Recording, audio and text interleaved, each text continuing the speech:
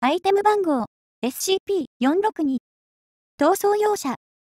オブジェクトクラスユークリッド。特別収容プロトコル。SCP-462 は温度と湿度が管理されたサイト。の保管庫に格納されています。いかなる状況下においても、クラス D 職員は、このオブジェクトへの接近を許されません。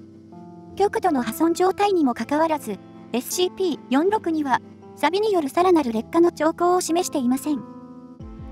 説明 SCP-462 は、窓が割れ、ひどく錆びつき、中度に破損した1968年製シボレーエルカミーノです。キーは挿入されたままになっています。現在までこのキーを抜くために行った全ての試みは失敗に終わっています。被験者が運転席に座ってエンジンをかけるかのようにキーをオンにした場合、被験者は瞬時に消失します。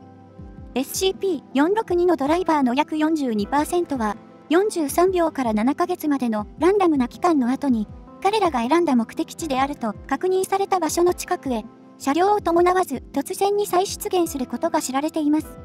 SCP-462 のドライバーは、ほとんどの場合、安全に目的地に到着することができません。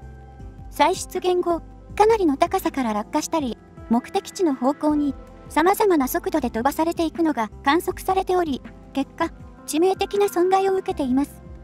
時折、被験者は、致死のいずれか、または複数、最悪、その全てが失われた状態で到着します。再出現しなかった35%のドライバーは GPS トランシーバーを取り付けた場合であってもその位置を特定することはできません被験者の残りの23%はデータ削除済み生き残った SCP-462 のドライバーのレポートには彼らが消失してから再出現するまでの間車を運転していたことこの体験に混乱したこと突然再出現したことが記されています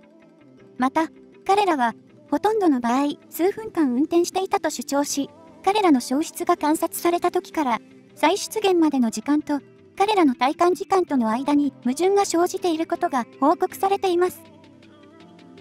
このオブジェクトが最初に財団の注意を引いたのは、年10月5日、マーシャルが刑務所で終身刑に服していた父親を見つけるため、軽率にもこれを使用し、元の位置からキロメートル離れたその刑務所に再出現した時のことです。刑務所の警備員は、その後、すぐにマーシャル氏を拘束しました。尋問は、施設に潜入していたエージェントによって行われました。SCP-462 は、直ちに何事もなくサイトに移動、配置されました。